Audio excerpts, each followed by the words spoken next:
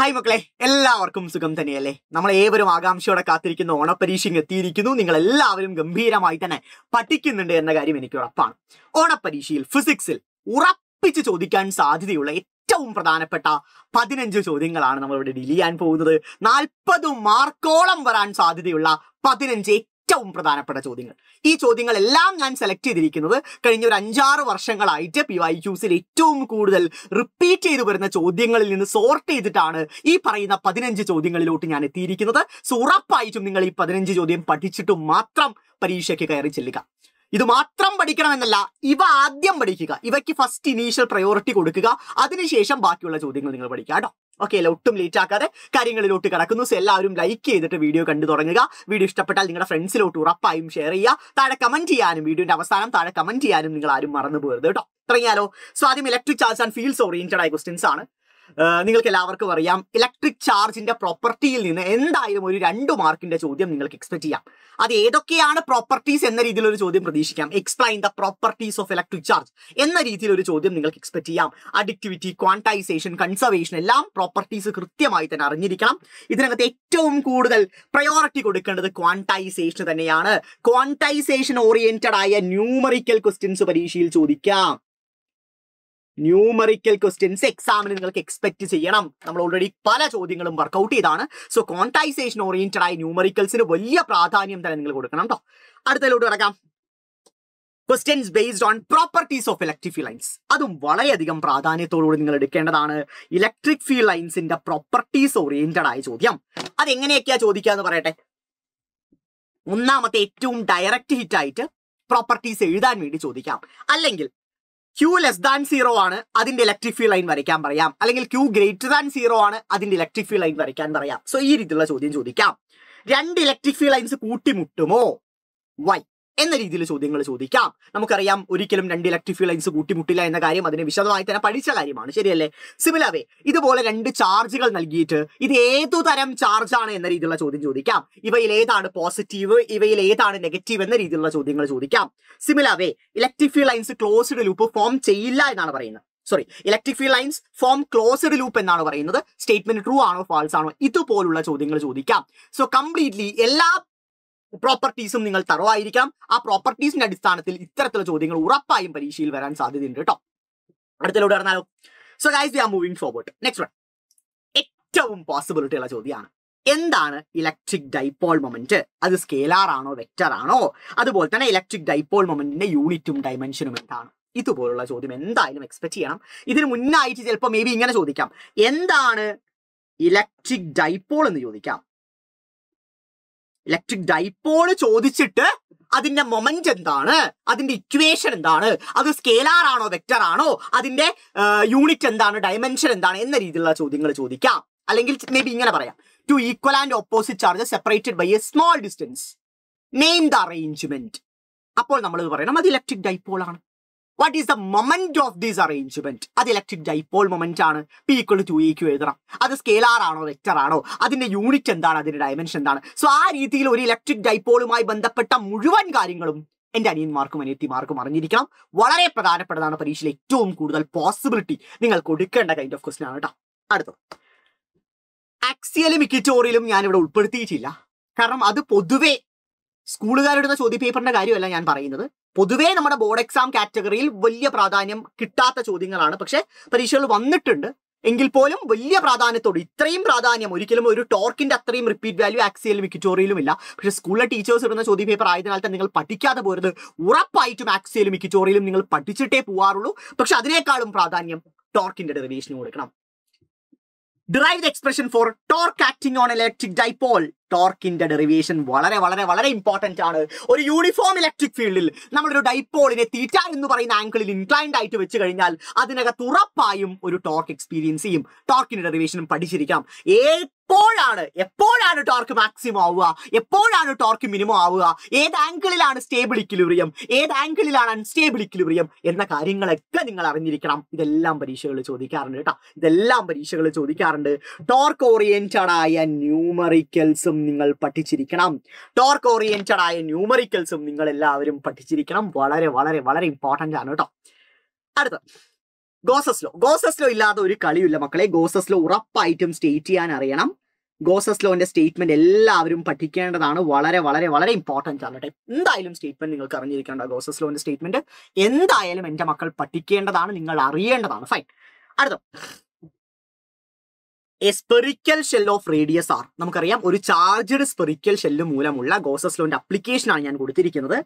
Outside inside surface like എല്ലാ മൂന്ന് കാറ്റഗറിയും കൃത്യമായി പഠിക്കുക. അതിന്റെ ഗ്രാഫും ഒന്ന് പഠിച്ചു വെക്കാം കേട്ടോ. ഗ്രാഫും ഒന്ന് പഠിച്ചു വെക്കുക അതിനകത്ത് ഒരു വിട്ടുവീഴ്ചയും വരുത്തരുത് ഗ്രാഫിനും വലിയ പ്രാധാന്യമുണ്ട്. ഗ്രാഫും ചോദിക്കാറുണ്ട് കേട്ടോ. അടുത്ത സ്ട്രൈറ്റ് ചാർജ് വയർ ഇതിന്റെ അപ്ലിക്കേഷൻ വളരെ വളരെ വളരെ ഇമ്പോർട്ടന്റ് ആണ്. ഷീറ്റിനേക്കാളും റിപ്പീറ്റ് വാല്യൂ ഉള്ളത് ഇവർക്ക് രണ്ടുപേർക്കുമാണ് സ്ട്രൈറ്റ് ചാർജ് വയറും അതുപോലെ തന്നെ സ്പെറിക്കൽ ഷെല്ലുമാണ് ഏറ്റവും കൂടുതൽ പരീക്ഷകളിൽ ചോദിച്ച് കാണാറുള്ളത്. കൃത്യമായി പഠിക്കണം. വളരെ ഇമ്പോർട്ടന്റ് ആണ്. ആ ഗൂഷ്യൻ സർഫേസ് ഒക്കെ വരയ്ക്കുമ്പോൾ ശ്രദ്ധിച്ചു തന്നെ വരയ്ക്കാനടാ ഓക്കെ അടുത്തത്. നെക്സ്റ്റ് വൺ അടുത്ത ചാപ്റ്ററിലോട്ട് കിടക്കുന്നു. ഇലക്ട്രിക് പൊട്ടൻഷ്യൽ ആൻഡ് കപ്പാസിറ്റൻസ് വലിയ ഭീകരമായ ചാപ്റ്റർ അല്ല എങ്കിലും കുറച്ച് റിപ്പീറ്റഡ് ആയിട്ടുള്ള ചോദ്യങ്ങൾ ഈ ചാപ്റ്ററിലുണ്ട് ഒന്നാമത്തെ ഇക്യൂ പൊട്ടൻഷ്യൽ സർഫേസ് വളരെ പ്രധാനത്തോടെ പ്രാധാന്യത്തോടെ നിങ്ങൾ കാണേണ്ടതാണ് ഇക്യൂ പൊട്ടൻഷ്യൽ സർഫേസ് എന്താണ് ഇക്യൂ പൊട്ടൻഷ്യൽ സർഫേസ് ആ ഇക്യൂ പൊട്ടൻഷ്യൽ സർഫേസിൽ ഒരു ചാർജിനെ മൂവ് ചെയ്യാൻ നമ്മൾ എത്രത്തോളം വർക്ക് ചെയ്യണം?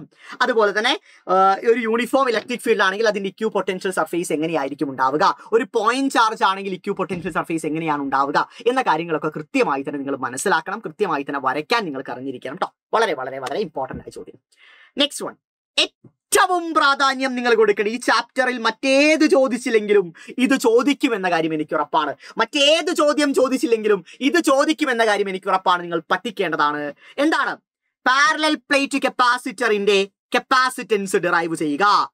കപ്പാസിറ്റി മീൻസ് കപ്പാസിറ്റൻസ് ഒരു പാരൽ പ്ലേറ്റ് കപ്പാസിറ്ററിന്റെ കപ്പാസിറ്റൻസ് ഡിറൈവ് ചെയ്യുക. C equal to epsilon zero divide by D എന്ന് പറയുന്ന എക്സ്പ്രഷൻ ഡിറൈവ് ചെയ്യുക. കൃത്യമായി തന്നെ പഠിച്ചിരിക്കുക. വളരെ വളരെ വളരെ ഇമ്പോർട്ടന്റ് ആണ്. ഡിറൈവ് ചെയ്യാൻ അറിഞ്ഞിരിക്കണം. മൂന്ന് മാർക്കിനാണ് ചോദ്യ പേപ്പറിൽ ഈ ചോദ്യം കാണാനിരിക്കുന്നത്. അതുമായി റിലേറ്റ് ചെയ്ത് ഇങ്ങനെയും ചോദിക്കാട്ടോ അതായത് ആ പറയുന്ന C equal to A epsilon zero by ഡിക്ക് ഓരോ പാരാമീറ്റേഴ്സിന്റെ വേരിയേഷൻ എങ്ങനെയാണ് കപ്പാസിറ്റൻസിന് എഫക്ട് ചെയ്യുക? ഇപ്പൊ ഡിസ്റ്റൻസ് മാറുമ്പോൾ എങ്ങനെയാണ് കപ്പാസിറ്റൻസ് മാറുക? സോ ആ രീതിയിലുള്ള ചോദ്യങ്ങൾ അപ്ലിക്കേഷൻ ലെവൽ ഓഫ് ക്വസ്റ്റ്യൻസ് കൂടി അതിൽ നിന്ന് പരീക്ഷയിൽ നിങ്ങൾ പ്രതീക്ഷിക്കേണ്ടതാണ് കേട്ടോ മക്കളെ. ഫൈൻ അടുത്ത ഇതും ഏറ്റവും പ്രധാനപ്പെട്ട കൈൻഡ് ഓഫ് ക്വസ്റ്റ്യൻ ആണ്. നമുക്കറിയാം രണ്ട് രീതിയിൽ കപ്പാസിറ്റേഴ്സ് നമുക്ക് കമ്പൈൻ ചെയ്യാൻ സാധിക്കും. ശരിയല്ലേ? എങ്ങനെയൊക്കെയാണ്? രണ്ട് രീതിയിൽ കമ്പൈൻ ചെയ്യാൻ സാധിക്കും. സീരീസും പാരലും അതിന്റെ എഫക്റ്റീവ് കപ്പാസിറ്റൻസ് ഡിറൈവ് ചെയ്യാൻ ചോദിക്കാം. സീരിയസിന്റെയും പാരലിന്റെയും എഫക്റ്റീവ് കപ്പാസിറ്റൻസ് ഡിറൈവ് ചെയ്യുന്ന പോലെ ഒരു ചോദ്യം എന്തായാലും പരീക്ഷയിൽ നിങ്ങൾ എക്സ്പെക്ട് ചെയ്യാനാണ്. അടുത്തത്. അതുമായി ബന്ധപ്പെട്ട ന്യൂമറിക്കൽ ക്വസ്റ്റ്യൻസ് അതായത് എഫക്റ്റീവ് കപ്പാസിറ്റൻസ് ഓറിയന്റഡ് ആയ ന്യൂമറിക്കൽ ക്വസ്റ്റ്യൻസ് ലൈക്ക് ദിസ് ഇതുപോലുള്ള മൂന്ന് കപ്പാസിറ്റൻസ് തരും. അവ സീരീസ് അല്ലെങ്കിൽ പാരലി കണക്ട് ചെയ്യും. അവയുടെ എഫക്റ്റീവ് കപ്പാസിറ്റൻസ് എത്രയാണ്? അല്ലെങ്കിൽ വോൾട്ടേജും കപ്പാസിറ്റൻസ് നൽകും. ലൈക്ക് അങ്ങനെയുള്ള ഏറ്റവും basic U equal to C V oriented ആയ ക്വസ്റ്റ്യൻസ് ഒക്കെ പരീക്ഷകളിൽ ചോദിക്കാറുണ്ട്. കൃത്യമായി പഠിക്കണം വ്യക്തമായി മനസ്സിലാക്കണം കേട്ടോ അതുപോലെ തന്നെ Q equal to C V oriented ആയ ഗ്രാഫ് ഗ്രാഫിൽ നിന്ന് പരീക്ഷയിൽ ചോദ്യം വരാം. സ്ലോപ്പ്. അതൊക്കെ നിങ്ങൾ കൃത്യമായി തന്നെ മനസ്സിലാക്കി വെക്കണം. ഗ്രാഫ് നിങ്ങളുടെ മനസ്സിലോട്ട് വരണം. അത് ഓറിയന്റഡ് ആയ ചോദ്യങ്ങളും പരീക്ഷയിൽ ചോദിക്കാം. നെക്സ്റ്റ് വൺ കറണ്ട് ഇലക്ട്രിസിറ്റി വലിയ ചോദ്യങ്ങളൊന്നും കറണ്ട് ഇലക്ട്രിസിറ്റിയിൽ നിന്ന് ഞാൻ ഉൾപ്പെടുത്തിയിട്ടില്ല. ഏറ്റവും ലളിതമായ ചോദ്യങ്ങൾ തന്നെയാണ് നിങ്ങൾക്ക് കാണുമ്പോൾ തന്നെ മനസ്സിലാവുന്നത്. ഏതൊക്കെയാണ് മക്കളെ ചോദ്യങ്ങൾ ലൈക്ക് ഇത് ഏത് തരം മെറ്റീരിയൽസ് ആണെന്ന് ചോദിക്കാറുണ്ട്? ടെമ്പറേച്ചറും റെസിസ്റ്റിവിറ്റിയും തമ്മിലുള്ള ഗ്രാഫാണ് ഇവിടെ പ്ലോട്ട് ചെയ്തിരിക്കുന്നത്. ഇതിന്റെ അടിസ്ഥാനത്തിൽ ഇവ ഏതു തരം മെറ്റീരിയൽ ആണ് എന്ന കാര്യം നിങ്ങൾക്ക് ഐഡന്റിഫൈ ചെയ്യണം. ഓൾമോസ്റ്റ് ഇൻഡിപെൻഡന്റ് ആയിരിക്കുന്ന അലോയ്സ് ആണ് ഇൻവേഴ്സ്ലി പ്രൊപ്പോഷണൽ ആയിരിക്കുന്ന സെമി കണ്ടക്ടേഴ്സ് ആണ് പരീക്ഷകൾ ചോദിക്കാറുണ്ട്. അതുപോലെ തന്നെ വലിയ ചോദ്യങ്ങൾ ഞാൻ കൊടുത്തിട്ടില്ല. ജസ്റ്റ് രണ്ടേ രണ്ട് ചോദ്യങ്ങൾ മാത്രമേ ഇതിനകത്ത് പ്ലേസ് ചെയ്തിട്ടുള്ളൂ. ഏറ്റവും റിപ്പീറ്റഡ് ആയിട്ടുള്ള രണ്ട് രണ്ട് ചോദ്യങ്ങൾ. സ്റ്റേറ്റ് ക്രിച്ചോഫ് റൂൾ അതിനനുസരിച്ച് ക്രിച്ചോഫിന്റെ റൂൾ പ്രകാരം എല്ലാവരും ശ്രദ്ധിക്കുക. ക്രിച്ചോഫിന്റെ റൂളിന്റെ റൂൾ പ്രകാരം എന്താണ് പറഞ്ഞിരിക്കുന്നത്? വിസ്റ്റം ബ്രിഡ്ജ് ബാലൻസ് ചെയ്യാം. ഇതില്ലാത്ത ചോദ്യ പേപ്പർ ഇല്ല. ഹൺഡ്രഡ് പെർസെന്റേജ് നാലു മാർക്ക് വേറെ ഒന്നും വേണ്ട. ഈ ചോദ്യത്തിന് മാത്രം നിങ്ങൾക്ക് നാല് മാർക്ക് കിട്ടും. വേറെ ഒന്നിനെ പറ്റി നിങ്ങൾ ബോധരേണ്ട. സിംപ്ലി ഈ ക്വസ്റ്റിന് മാത്രം നാല് മാർക്ക് ഇതിന് മൂന്ന് മാർക്ക് ഇതിന് ഒരു മാർക്ക് ചിലപ്പോൾ സ്കൂളിലെ ടീച്ചേഴ്സ് ആയതുകൊണ്ട് ഇതിന് രണ്ട് മാർക്ക് ഇതിന് മൂന്ന് മാർക്ക് ടോട്ടലി അഞ്ച് മാർക്കിനും ചോദിക്കാം. ലൈക്ക് അത് മേ ബി വേരി ചെയ്യാം. പക്ഷെ അത്രയും പ്രധാനപ്പെട്ട ചോദ്യം പറഞ്ഞാൽ അത്രയും പ്രധാനപ്പെട്ട ചോദ്യമാണ്. പഠിക്കേണ്ടതാണ്. വെരി വെരി വെരി ഇമ്പോർട്ടന്റ് ഇതില്ലാതെ ഒരു ടീച്ചറും നിങ്ങൾക്ക് ചോദ്യ പേപ്പർ ഇല്ല ഉറപ്പാണ്. ആത്മാർത്ഥമായി ഞാൻ പറയുകയാണ് ബീസ്റ്റം ബ്രിഡ്ജിന്റെ ബാലൻസിങ് കണ്ടീഷൻ ഇല്ലാതെ ഒരു ടീച്ചറും നിങ്ങൾക്ക് ചോദ്യ പേപ്പർ ഇടാൻ പോകുന്നില്ല. അത്രത്തോളം പ്രധാനപ്പെട്ടതാണ് കേട്ടോ. ആ ചാപ്റ്ററിൽ ഞാൻ അത് മാത്രമേ ഉൾപ്പെടുത്തിയിട്ടുള്ളൂ. നെക്സ്റ്റ് വൺ മൂവിങ് ചാർജസ് ഇതുപോലെ ഒരു യൂണിഫോം ഇലക്ട്രിക് ഫീൽഡിലോട്ട് ഒരു ചാർജ് ഒരു പാർട്ടികൾ എന്റർ ചെയ്യുമ്പോൾ അതിന്റെ പാത്ത് എന്താണ് എന്ന രീതിയിലുള്ള ചോദ്യങ്ങൾ ചോദിക്കാം. ഏത് പാത്താണ് ഫോളോ ചെയ്യുക? സർക്കുലർ ആണോ? അതോ ഹെലിക്സ് ആണോ? ലൈക്ക് അങ്ങനെ നിങ്ങൾക്ക് എല്ലാവർക്കും അറിയാലോ. സോ അതിനനുസരിച്ചുള്ള ചോദ്യങ്ങൾ പാത്ത് ഓഫ് ദ ചാർജ് ഒരു പാർട്ടികൾ ഓറിയന്റഡ് ആയ ചോദ്യങ്ങൾ ചോദിക്കാം. Similar way ampere circuital theorem state ചെയ്യാനും അതിന്റെ അപ്ലിക്കേഷൻ രണ്ട് അപ്ലിക്കേഷൻസ് ഉള്ളത്. രണ്ട് അപ്ലിക്കേഷൻ ഓറിയന്റഡ് ആയ ക്വസ്റ്റ്യൻസും ചോദിക്കാം. ഇവയുമായി ബന്ധപ്പെട്ട ന്യൂമറിക്കലും പഠിച്ചിരിക്കണം കേട്ടോ ഇവയുമായി ബന്ധപ്പെട്ട ന്യൂമറിക്കൽ ക്വസ്റ്റ്യൻസിനും വലിയ പ്രാധാന്യമുണ്ട്. കൃത്യമായി തന്നെ പഠിക്കുക.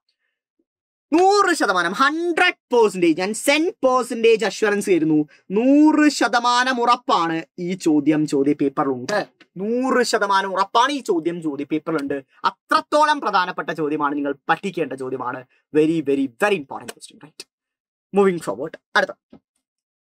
ഇനി അടുത്തൊരു കാറ്റഗറി ഓഫ് ക്വസ്റ്റ്യൻ നിങ്ങൾക്ക് എല്ലാവർക്കും ബയോഡ് സവേർഡ്സ് ലോയും അതിന്റെ അപ്ലിക്കേഷനും കഴിഞ്ഞാൽ അടുത്ത ഏറ്റവും വലിയ പ്രാധാന്യം കൊടുക്കുന്നത് ഗാൽവനോമീറ്റർ ഓറിയന്റഡ് ആയ ചോദ്യമാണ്. അതിന്റെ കൺവേർഷൻ ഓറിയന്റഡ് ആയ ചോദ്യമാണ്. പരീക്ഷകൾ എപ്പോഴും ചോദിക്കാം. അതുമായി ബന്ധപ്പെട്ട ഒരു ന്യൂമറിക്കൽ ക്വസ്റ്റിനും നിങ്ങൾ എന്തായാലും പഠിച്ചിടുക സോ ഇത്രയും ചോദ്യങ്ങൾക്കാണ് നിങ്ങൾ ഇനീഷ്യൽ പ്രയോറിറ്റി കൊടുക്കുന്നത്. ഓൾമോസ്റ്റ് എല്ലാ പ്രധാനപ്പെട്ട ടോപ്പിക്കുകളും ഞാൻ ഇവിടെ കവർ ചെയ്തു എന്നാണ് എന്റെ വിശ്വാസം. ഇവയെല്ലാം പഠിക്കുക. ഓൾറെഡി പല ലൈവുകളിലായിട്ട് നിങ്ങൾ പഠിച്ചിട്ടുണ്ടാവും. എങ്കിലും ലാസ്റ്റ് മൊമെന്റ് പ്രഷപ്പിന് വേണ്ടി എക്സാമിന്റെ തലേന്നാൾ നിങ്ങൾക്ക് ഏഴ് മണിക്ക് ഒരു സൂപ്പർ സിക്സ്റ്റി ഉണ്ടായിരിക്കും. എല്ലാവരും വരിക. എല്ലാവരുടെ പാർട്ടിസിപ്പേഷനും ഒന്ന് എൻഷുർ ചെയ്യുക ഗംഭീരമാക്കുക അടിപൊളിയായിട്ട് എല്ലാ ചോദ്യങ്ങൾക്കുള്ള ഉത്തരവും നിങ്ങൾക്ക് അവിടെ കാത്തിരിപ്പുണ്ട്. എല്ലാം ഒന്ന് ബ്രഷപ്പ് ചെയ്തെടുക്കാൻ ഒന്ന് പൊടി തട്ടിയെടുക്കാനുള്ള അവസരമാണ് അടിപൊളിയായിട്ട് പരീക്ഷ ചെയ്ത മക്കളെ. സോൾ ദ ബെസ്റ്റ് ഗംഭീരമാക്കുക കേട്ടോ. കാണാം.